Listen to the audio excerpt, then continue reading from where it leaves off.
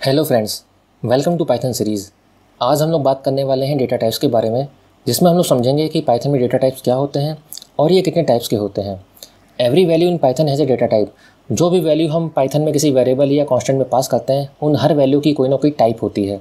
जैसे मान लीजिए मैंने कोई value single quote double quote या ट्रिपल कोड में पास की है तो वो वैल्यू हमारी स्ट्रिंग टाइप की कहलाती है।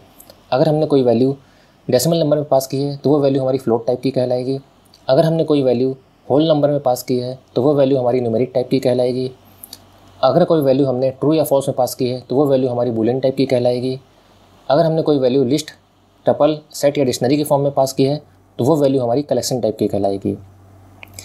Since everything is an object in Python programming data types are actually classes and variables are instance of this classes Python में जो डेटा टाइप्स होते हैं, वो आपकी क्लासेस होती हैं और जो वेरिएबल्स होते हैं, वो आपके उन क्लासेस के ऑब्जेक्ट होते हैं।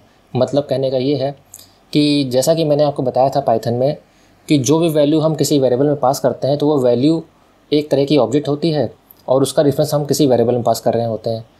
तो हर वैल्यू की कोई ना कोई टाइप होगा। तो जैसा कि यहाँ पे बोला गया है कि डेटा टाइप आपकी क्लासेस होती हैं और जो वेरिएबल होते हैं, वो उस क्लास के ऑब्जेक्ट होते हैं। तो हमको वेरिएबल से ही पता चल जाता है कि जो उसमें वैल्यू स्टोर है, वो किस टाइप की है। तो नेक्स्ट वीडियो में मैं आपको बताऊँगा कि कैसे हम पता करेंगे कि कोई वेरिएबल किस टाइप का है।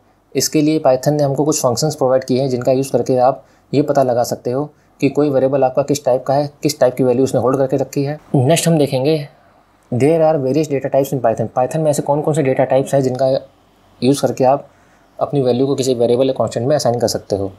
तो देखिए नीचे, यहाँ पर दिखा रहा है Python number Python strings Python list Python tuple Python set और पाइथन डिक्शनरी ये इतने तरह के डेटा टाइप्स पाइथन के अंदर मौजूद हैं जिनका यूज़ करके आप अपनी वैल्यू को किसी वेरिएबल या किसी कॉन्स्टेंट में असाइन कर सकते हो। तो फ्रेंड्स आज आप लोगों ने समझा कि पाइथन में डेटा टाइप्स क्या होते हैं, ये कितने टाइप्स के होते हैं। नेक्स्ट वीडियो में मैं आपको बताऊँगा कि कैसे हम पता करेंगे कि किसी वेरिएबल का डेटा टाइप क्या है, उसमें किस तरह की वैल्यू स्टोर है। तो फ्रेंड्स अगर आपको मेरी वीडियो पसंद आई हो तो प्लीज़ मेरी इस वीडियो को लाइक एंड शेयर ज़रूर करें।